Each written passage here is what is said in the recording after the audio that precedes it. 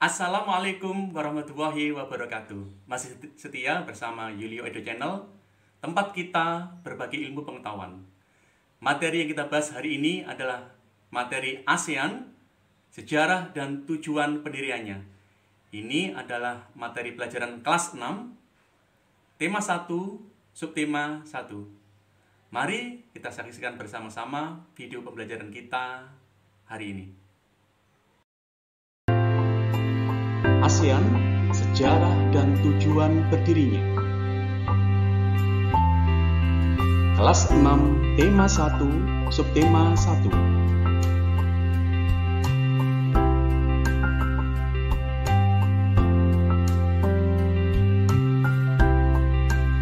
Perbara Perbara atau Perhimpunan Bangsa-Bangsa Asia Tenggara atau lebih dikenal dengan nama ASEAN merupakan sebuah organisasi geopolitik dan ekonomi yang didirikan di Bangkok, Thailand pada tanggal 8 Agustus 1967 oleh lima orang Menteri Luar Negeri atau Menlu dari lima negara kawasan Asia Tenggara.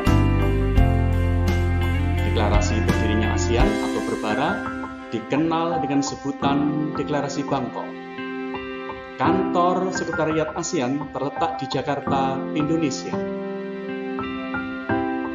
Deklarator ASEAN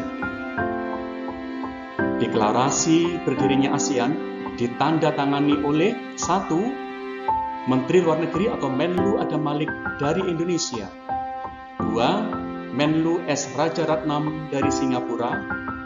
Tiga, Menlu Tun Abdul Razak dari Malaysia. Empat, Menlu Narcisco Ramos dari Filipina, 5. Menlu Tanat Koman dari Thailand. Kelima negara-negara tersebut yaitu Indonesia, Singapura, Malaysia, Filipina, dan Thailand disebut sebagai lima negara pendiri ASEAN atau berbara.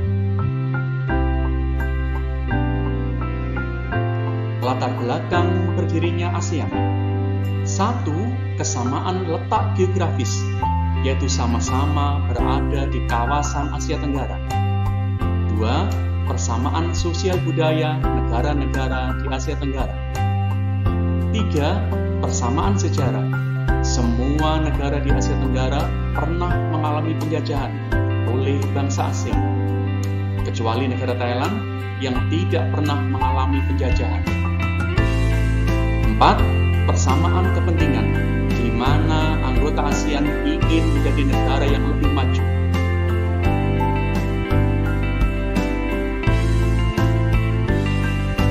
Tujuan berdirinya ASEAN. Satu, meningkatkan pertumbuhan ekonomi. Dua, meningkatkan kemajuan sosial budaya.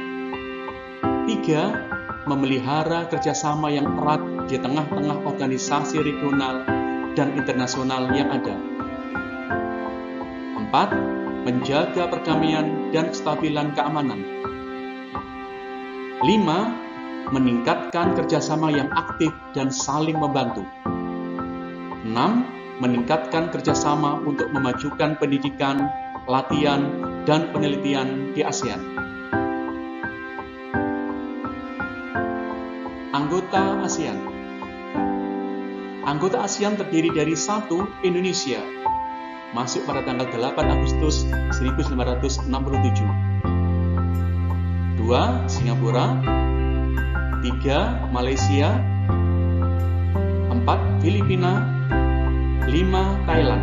Kelima negara ini adalah pendiri ASEAN yang secara otomatis masuk pada tanggal 8 Agustus 1967.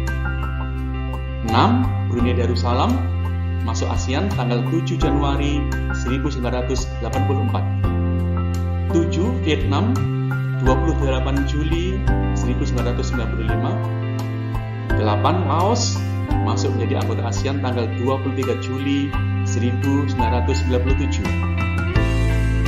9. Myanmar 23 Juli 1997 Kamboja 30 April 1999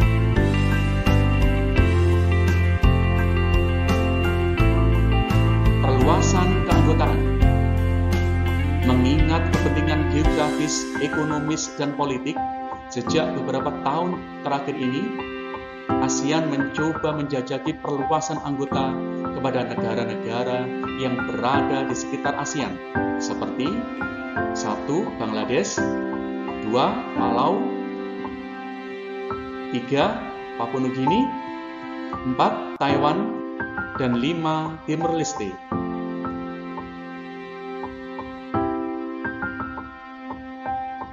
Prinsip-prinsip utama ASEAN Satu, menghormati kemerdekaan, kedaulatan, kesamaan, integritas, wilayah nasional, dan identitas nasional setiap negara.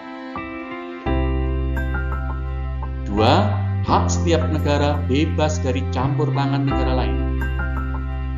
Tiga, tidak mencampuri urusan dalam negeri sesama negara anggota. Empat, penyelesaian perbedaan atau perbedaan dengan jalan damai. 5. Kerjasama efektif antara anggota ASEAN. KTT ASEAN KTT ASEAN atau Konferensi Tingkat Tinggi ASEAN adalah pertemuan puncak antara pemimpin-pemimpin negara anggota ASEAN.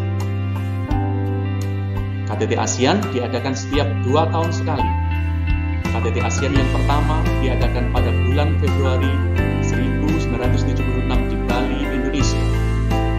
Masalah utama yang dibahas oleh para pemimpin tertinggi negara-negara Asia Tenggara adalah masalah perkembangan ekonomi, politik, keamanan, dan sosial budaya negara-negara Asia Tenggara.